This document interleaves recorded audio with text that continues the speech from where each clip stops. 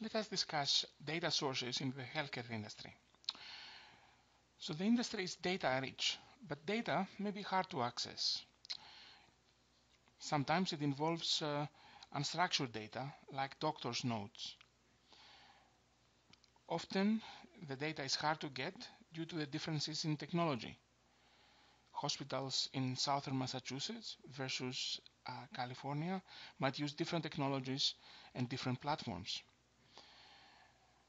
Finally, there are strong privacy laws, HIPAA, around healthcare data sharing. So what is available?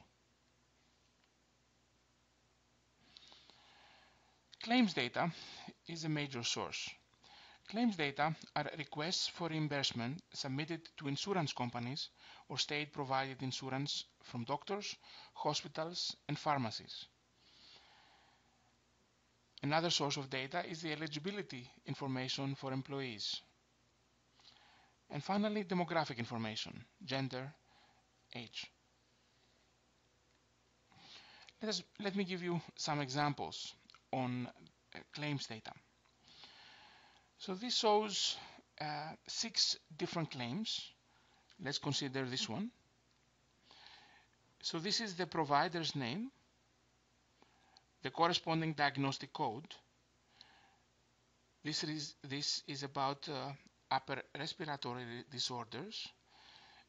This is a, another code associated with the diagnosis.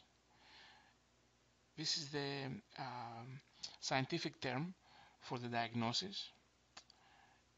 The specific code again. This was related to the, this was an office visit and it's an established patient.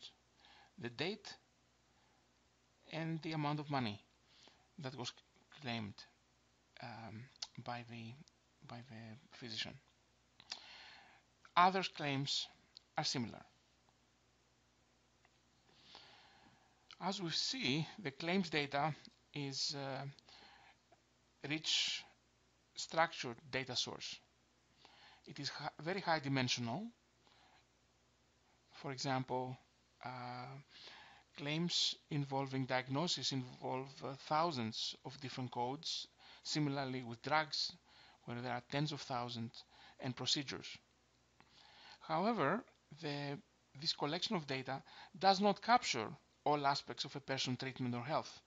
Many things must be inferred. Unlike electronic medical records, we do not know the results of a test, only that the test was administered. For example, we do not know the results of a blood test, but we do know that a blood test was administered.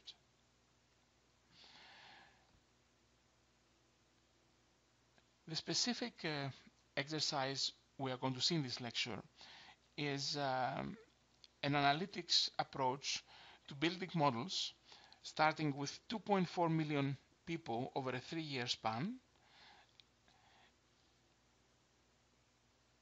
The observation period was 2001 to 2003. This is where this data is coming from. And then out of sample, we make predictions for the period 2003 and 2005, 2004. This was in the early years of D2 Hawkeye.